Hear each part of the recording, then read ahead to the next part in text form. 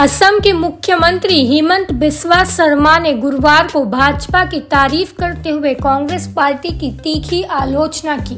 बारपेटा ज़िले के चकचका में पार्टी कार्यालय के उद्घाटन के मौके पर कांग्रेस से बीजेपी नेता बने।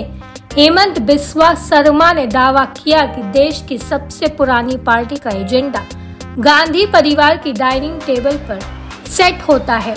उन्होंने कहा, बीजेपी एक लोकतांत्रिक पार्टी है, जिसे उसके कार्यकर्ताओं ने बनाया है। लेकिन अगर आप कांग्रेस या दूसरी पार्टियों की बात करें तो ये कार्यकर्ताओं ने नहीं बनाई है। वो सिर्फ़ अपने नेताओं और परिवार के आसपास केंद्रित है। उनके निर्णय परिवार की डाइनिंग टेबल पर लिए जाते हैं, और कार्यकर्ताओं को सिर्फ़ फॉलो करने होते हैं।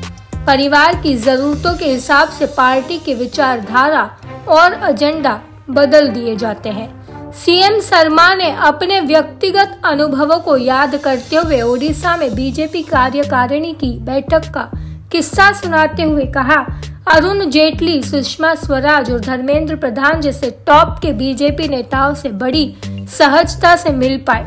पीएम मोदी ने इस बैठक में सभी के साथ बैठकर खाना खाया। हमें बताया गया कि बीजेपी में इसी तरह से काम किया जाता है। कांग्रेस पर हमला करते हुए उन्होंने कहा, जबकि सोनिया गांधी के साथ एक टेबल पर या राहुल गांधी के बगल वाली कुर्सी पर बैठना अकल्पनीय है। कांग्रेस में सोनिया गांधी के सामने तो ये कहते हुए भी डर लगता था कि देश पहले है और गांधी परिवार बाद में। लेकिन मोदी जी खुद कहते हैं कि देश पहले है, पार्टी बाद में और परिवार सबसे बाद में। ये बीजेपी के संगठनात्मक आधार को दर्शाता है। सीएम शर्मा ने आगे कहा, अमित शाह जैसे वरिष्ठ नेता भी किसी होटल के बजाय पार्टी कार्यकर्ता के घर पर खाना खाने में खुशी महसूस करते हैं। उन्होंने पत्रकारों से बातचीत करते हुए विश्वास जताया कि इस बार के लोकसभा चुनाव में बीजेपी के नेतृत्व में एनडीए 400 सीटों से भी ज़्यादा जीतेगी और कांग्रेस रीजनल पार्टी बनकर रह जाएगी।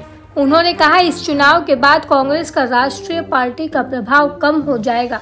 वो अपनी नाकामी कैसे छिपाएँगे? कोई राष्ट्रीय नेतृत्व नहीं बचेगा और ये रीजनल पार्टी बनकर रह जाएगी।